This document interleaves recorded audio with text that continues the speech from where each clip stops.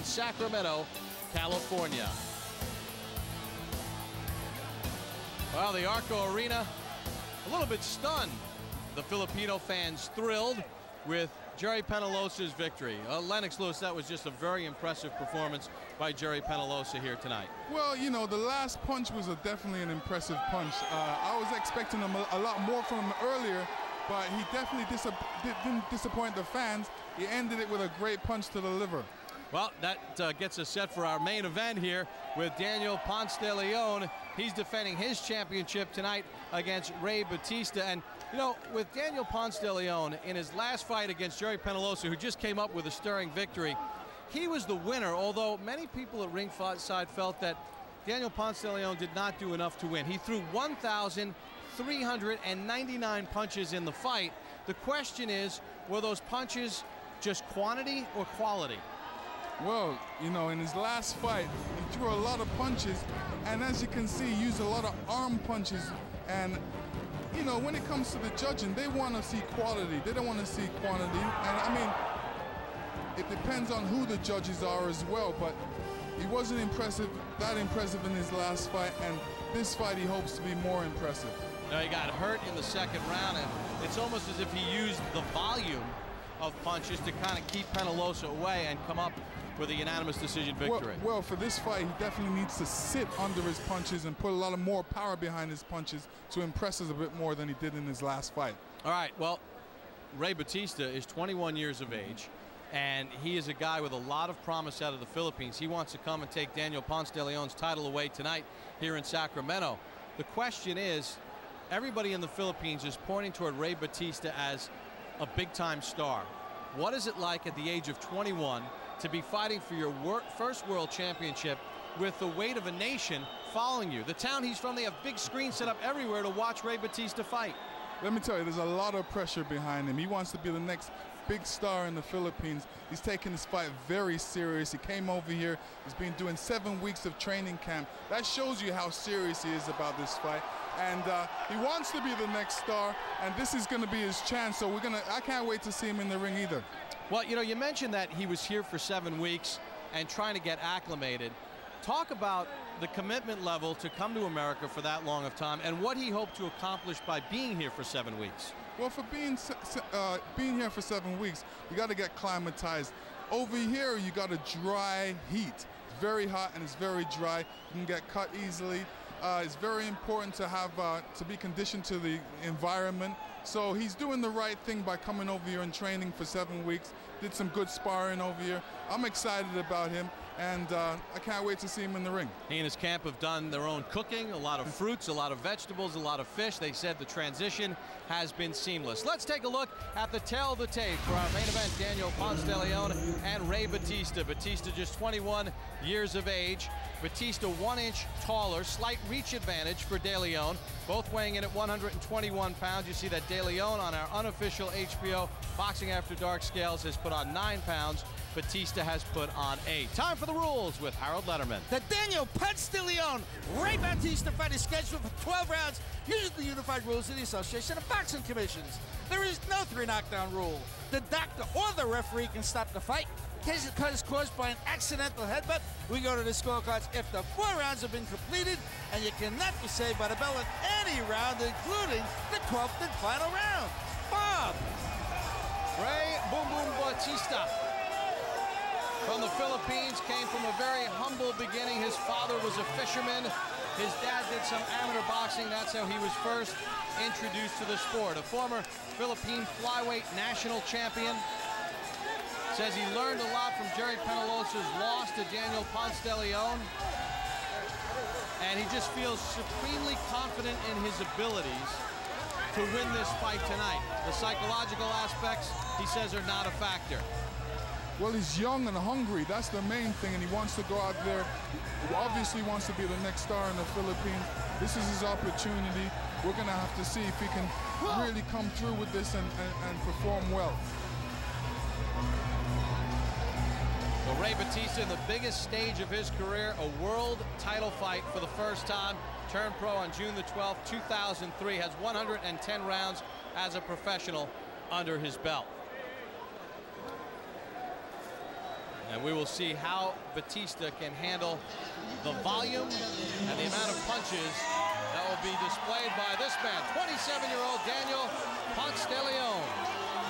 His boxing idols were Finito Lopez, Julio Cesar Chavez, and Daniel Zaragoza. It was a personal thrill for him as a kid to be co-trained by Daniel Zaragoza as he was preparing for the Mexican Olympic team, participated in the 2000 Olympic Games in Sydney. He's a businessman. He's invested his money wisely, but he says boxing is his focus, and he wants to make his fifth title defense tonight in impressive fashion. Well, he's, he's definitely throws a lot of punches, and we want to see more better punches, better quality punches in this fight than quantity. Daniel Ponce de Leon has made his entrance into the ring. He spent time in California, also from Cuauhtémoc, Mexico. Time for the introductions. Once again, our ring announcer, Lupe Contreras. Ladies and gentlemen, from Arco Arena, Sacramento, California, once again, it is the World Cup of Boxing being brought to you by Oscar de la Hoya's Golden Boy Promotions, La Cerveza Tecate, Tecate Beer with Attitude, Rockstar Energy Drink, Party Like a Rockstar, and Ice Link Watch Exquisite Timepiece. This bout is the main event of the evening. 12 rounds of boxing for the WBO Junior Featherweight Championship of the World. President of the WBO, Francisco Paco Valcarcel. Supervisor, Richard DeCure. The judges are Max DeLuca, Steve English, and John Stewarts. The referee, Jon Schorle. And now, damas y caballeros from Mexico, Mabuhay, Philippines. The time has come to see who is El Más Macho. Introducing first, he steps into the ring as the challenger in the blue corner. Wearing black trunks trimmed in white and red. And weighing in at 121 and one half pounds. He is an undefeated professional fighter with 23 victories. 17 of his victories coming by way of knockout. Fighting out of Tagbilaran, Bohol, Philippines. Rey Boom Bautista.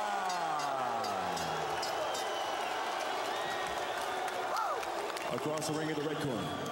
He steps in wearing black, trimmed in gold, and weighing in at 121 and one half pounds. As an amateur, he proudly represented his homeland of Mexico in the 2000 Olympics. And as a pro, he maintains a record consisting of 31 victories, with one lone defeat, and 28 of his victories coming by way of knockout. Defending his WBO Junior Featherweight Championship of the World. De Cuauhtémoc, Chihuahua, Mexico.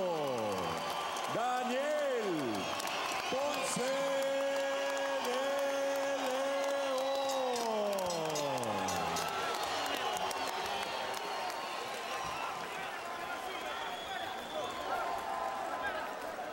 Okay, guys, for the WBO championship, give me a good, clean fight. Touch gloves, good luck.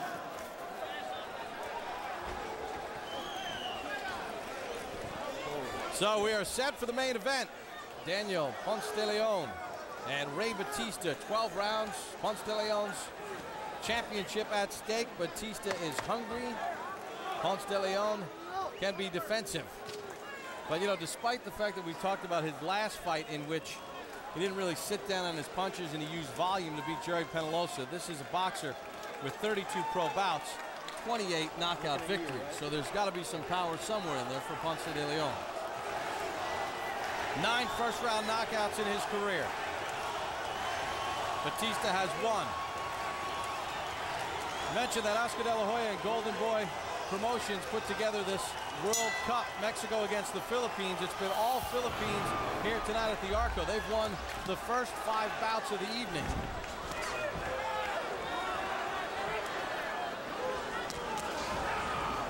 But more importantly, a title at stake.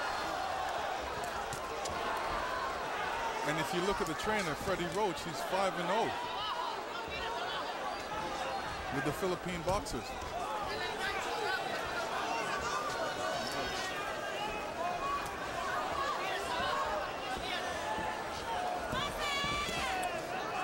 Alex, what, what's it like when the bell finally rings for someone like Bautista, worked his career to get into a world title fight, that first round of your first ever world title fight? Well, he's doing good right now because he's not in a rush. He's taking his time, realizing this is the first round. Well, Ponce de Leon has landed a couple lefts and Bautista shaken up.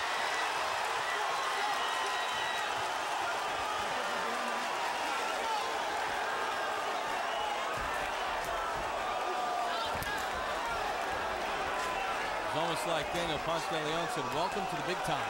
He wants to get another first round knock in there and build on his record. Definitely gave it a go that time. Chant of Mexico, the Mexican fans, looking for at least one victory here tonight. Sacramento has always been a great fight town. Some great champions like Tony the Tiger Lopez, Loreto Garza, the late Diego Corrales, and Bobby Chacon. Part of the Sacramento boxing history.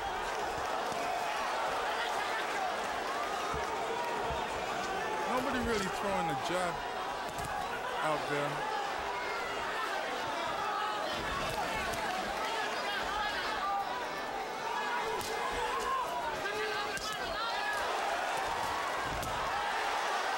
Sweeping left from the champion. Bautista still looks, looks a bit tight. He hasn't really loosened up yet. Oh, nice Oh, oh. Bautista's down. That was right on the chin.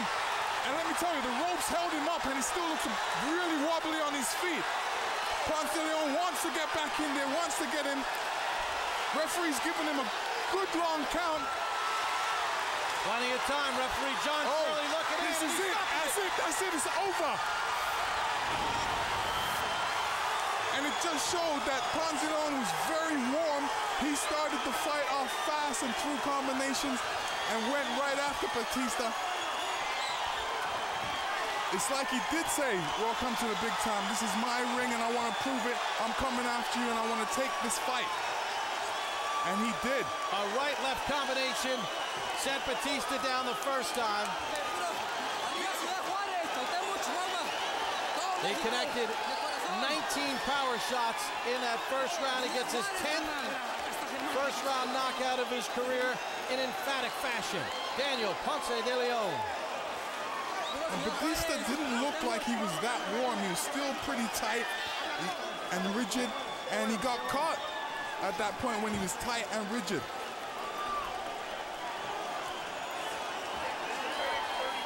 And we wondered about the 21-year-old Bautista in his first world title fight. Would he be overwhelmed by the moment? He was overwhelmed by Daniel Ponce de Leon.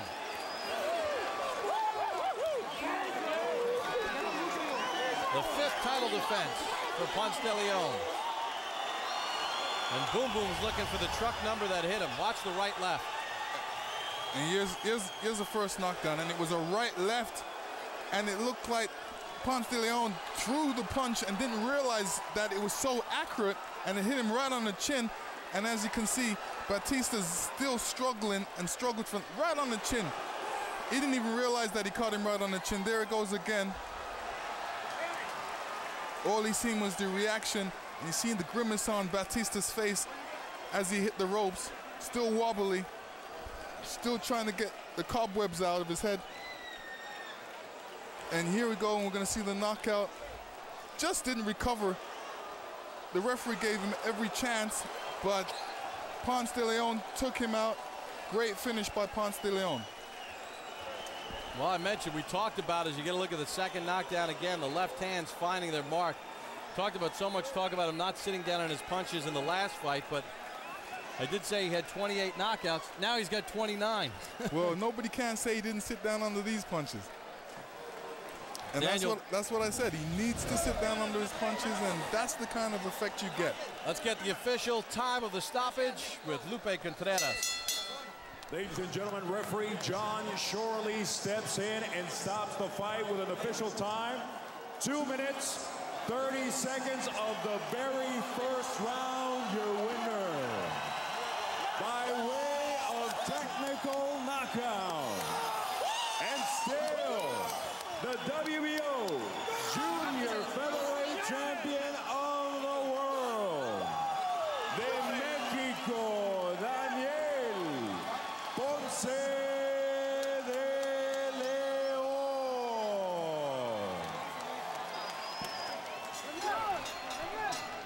So Daniel Ponce de León with a very impressive first round stoppage of Rey Bautista here in Sacramento. As we take a look at the final CompuBox numbers, and it was brief, only one round's worth. And you take a look at the final punches, 20 landed by De Leon, 19 of those connected were power shots. So he landed 19 power shots out of the 20 connected. He was busier, and obviously Bautista uh, was really not a factor in this fight as Ponce de Leon took this fight right to him. 19 of 39 in the power shots, nearly 50%. And Bautista was never in the fight. Well, and the know, numbers will indicate that. You know what was important for Bautista? Bautista should have been a lot warmer coming into the ring because when you're in world when you're in world champion boxing, you gotta be warm before you step into the ring.